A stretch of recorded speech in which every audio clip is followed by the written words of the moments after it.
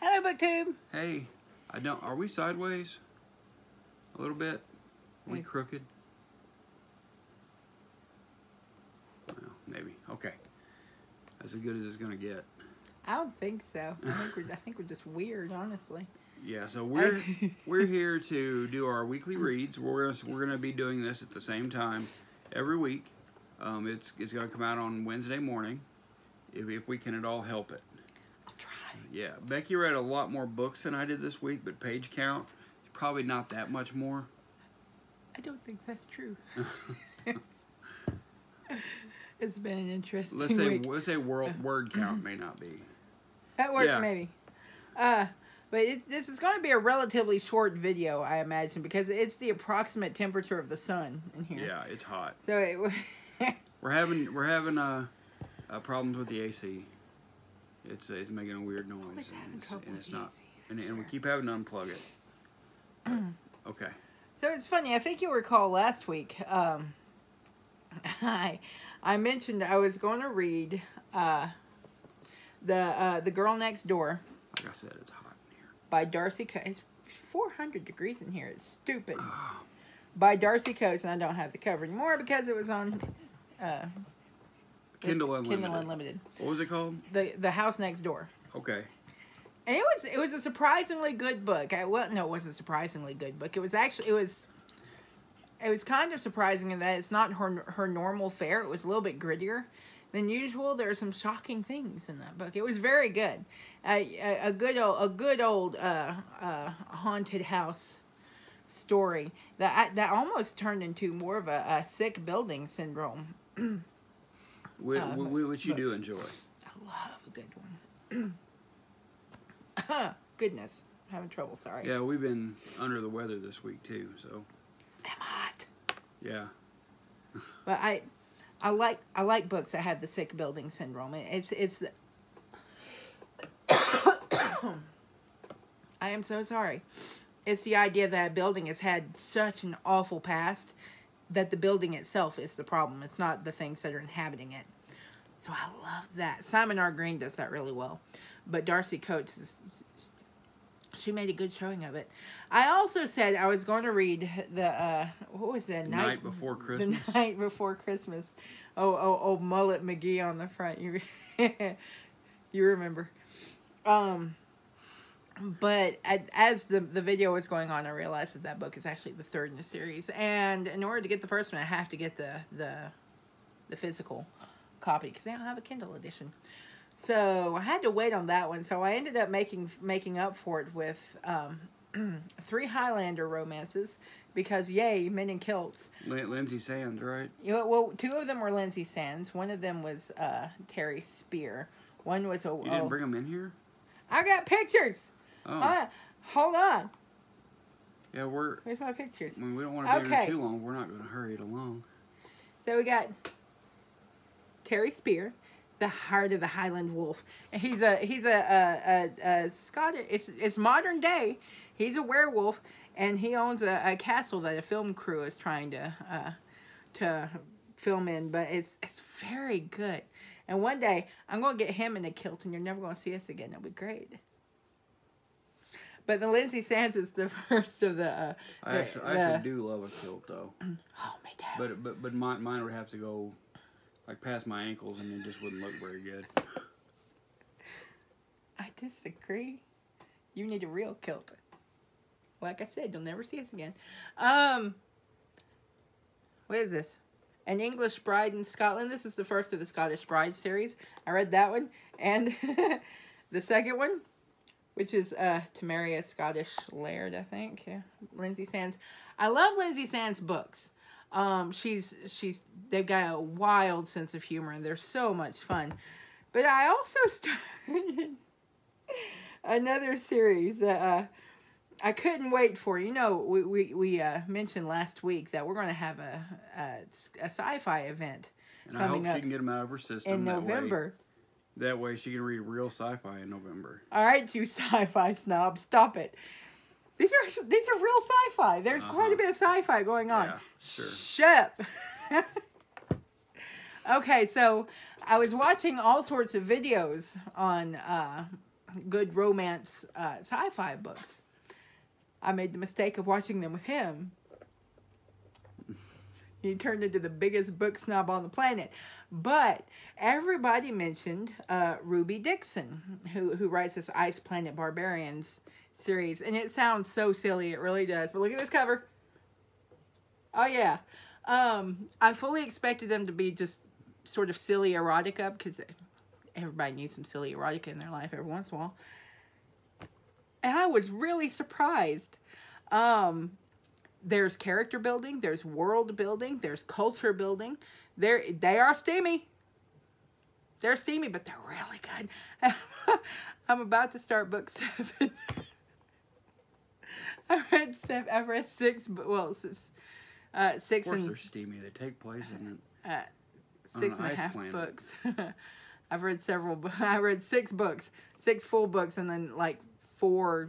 Uh, where are they? They're not novellas. They're short stories. They're like continuations of the previous story, and um, they're all on Kindle Unlimited. Just so you know, they're so good. I, I'm enjoying them immensely, and they're going to feature in my next week reading. Okay. Go ahead. All right. Uh, that's what she finished. Uh, but but what are you reading this coming week? Well, we'll go do that at the end. You, you go over what you've read, and then All we'll go. First, the first thing I finished was a book that I had a blast with, and I do definitely recommend this to anybody who likes a either a horror novel, an action novel, um, suspense, any of that stuff. It's The Remaining by DJ Mole. I think I called him Mol- Mollis last week. It's it's actually Mole. Really? Yeah, I, I looked it up. I looked up an interview with him so I could figure out how to say it, and uh, and it's the remaining. This is the first book of a six book series. I think it's six books now. Um, and this was so much fun. My God, it, I mean, it was brutal. It was violent. It was gory, but so much fun. I had a great time with this. Uh, he he actually released this independently first, and uh, then it, it was a big hit from Kindle, and so uh, he got uh, Orbit contacted him, and he and he now releases these through Orbit Orbit Books, um, but highly recommended. Becky needs to read this. Be- Becky would love this. Um, it is sort of a, a military thing, w- without much military. Okay. I enjoyed that. The second book I finished was The Songs of Distant Earth by Arthur C. Clarke. Um, did I ever love this book too? I had a great time with this. Um, Love that cover. yeah, I do Let's- too. Let's get closer. I, I didn't So, read it on. I didn't read the paperback. Look at that cover. I found it on um, Scribd, so I, so I read the ebook. Mm-hmm. and I don't know why it's taken me this long to read it because Arthur C. Clarke is my favorite sci-fi uh, author, maybe my favorite author. You know, full stop. I'm not sure, but I really do like him a lot. Ar- Arthur C. Clarke has a way about him that is, you know exactly what he's talking about, no matter how deep into the science he goes. And it works very, very well in all of all of the books of his that I've read. I haven't read any of his books that are that, that a lot of people don't like, Mm-hmm. but um, Songs of Distant Earth is top three or four Arthur C. Clarke for me. Oh, also this week, I fin- I've almost finished Andy Weir's uh, Hail- Project Hail Project Mary. Hail Mary, which is just awesome. It's as good as The Martian and Artemis.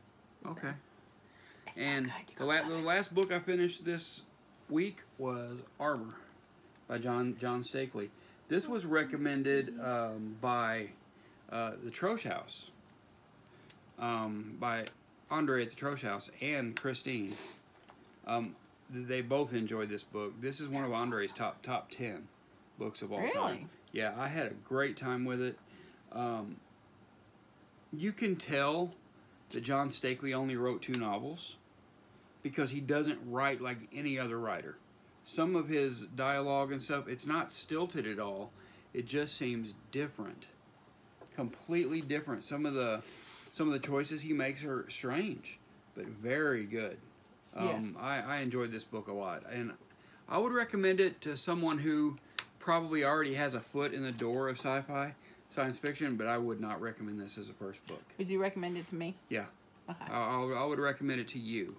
Um, there's one character I liked a whole lot more than the other one. There's two main characters in the book. Uh, I liked the uh, the character Felix a lot more than I liked the other character. So, um, but yeah, I had a great time with Armor.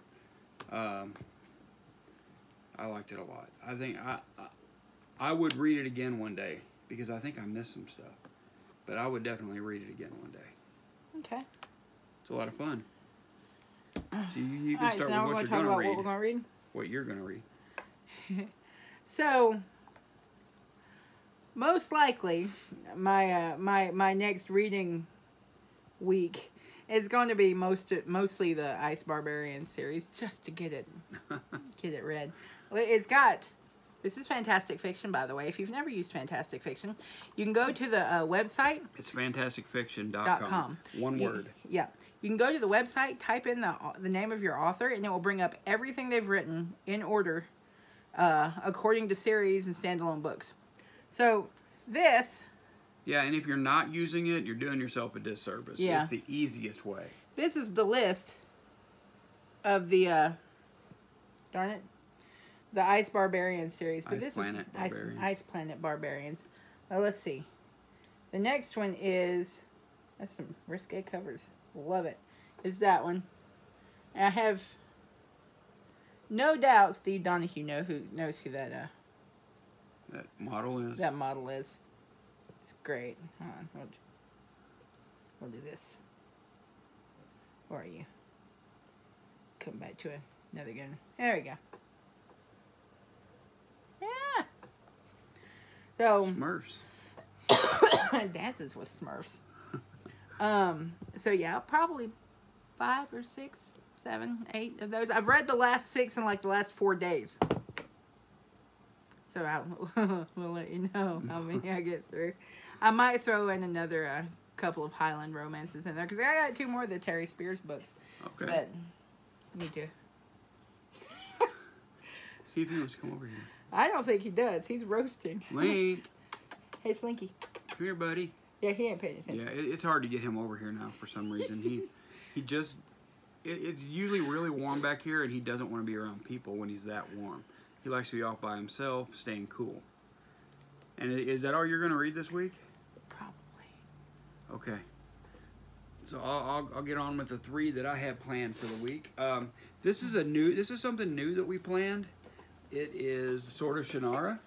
Um, this is going to be a, and this is the annotated Sword of Shannara. I got this from Libby, the, you know, the the library website. Um, and I'm going to be buddy reading this with three other people, and this is going to be a lot of fun. I haven't read this since I was about 17 probably. So that that's 28 years since I picked this thing up, and he's probably got 28 books, huh? I'm not reading it. I I know. I'm still salty about the ending of the second one. Um, but I am a, I am a fan of uh, Terry Brooks. He is he is a good writer, a very Oh, good yeah. writer. But isn't that cover really cool? This this is the newest cover I think, and it, and it's for the annotated. Awesome. Yeah, it's There- the 35th anniversary edition. They're very they're very good books. They're they're very very reminiscent of of the Lord, Lord of the Rings, of course they are, especially the first one. I mean, the first one is almost a retelling of Lord of the Rings. I remember Oh, yeah. that. I, I, Gandalf, Allanon. I know.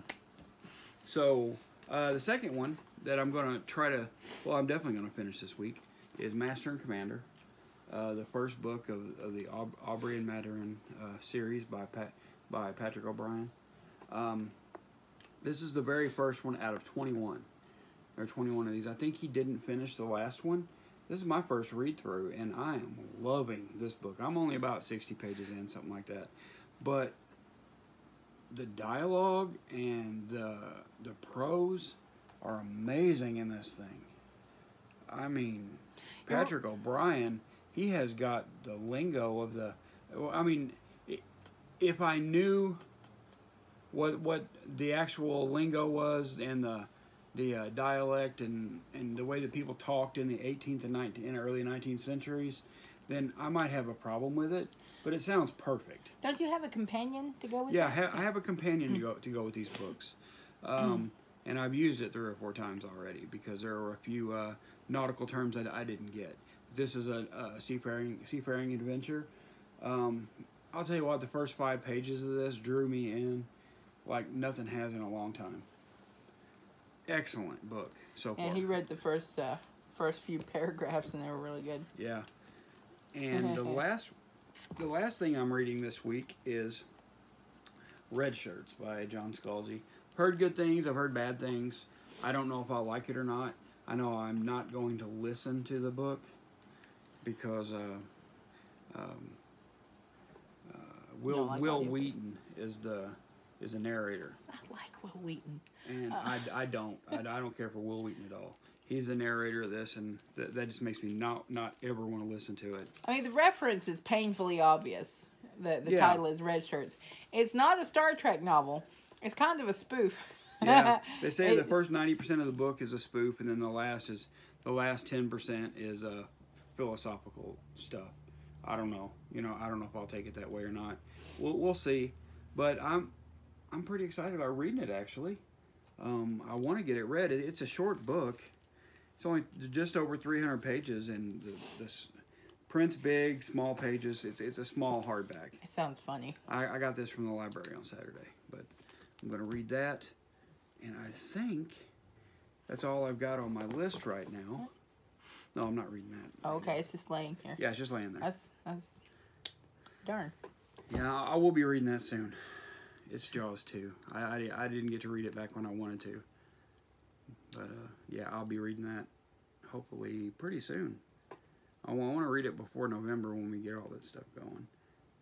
And that's it. He's he's he's gonna be reading some some sci-fi, some fantasy, and some adventure. Yeah, some uh, And- historic adventure stuff. And I'm reading smut. Yeah. You d- and men in kilts. Because I've sort of traded cowboys for Highlanders. I'm, I'm I I have depth like that. Yeah, I'm about to sneeze. Don't sneeze. Don't do it. I'm trying not to. Don't do it. Try not to. Okay. Yeah, we're we're un, we're really under the weather. Um, there's a thing going around called RSV. It is, it is, gets in your respiratory system. It gets in your sinuses, and um, it is rampant in Georgia. And I'm pretty sure that that's Just about everybody I know has had it. Yeah, that's what we're suffering from right now. But uh, I'm feeling a little better than I did yesterday. Mm-hmm. And we will comfort ourselves with good books. Yep. Yes. Anyway, that is our Tuesday or Oh, Wednesday read. and weekly read, everyone- everyone- Well, well, I'm gonna we're gonna leave some comments on the people who left a comment on the the bookmark giveaway video. Um, we're gonna ask you to send us our send us your email address. The first Yep. first twelve of you that commented. We, we already have one address. Uh, we, we just need to get the rest. Yep. So um, we'll we'll we'll send you an email or yeah, we'll keep an eye out. We'll be getting in touch. Yeah, uh, we'll we'll comment on your comment to let you know. Yep. Yep, that's it. That's it. Your books are calling. Go read.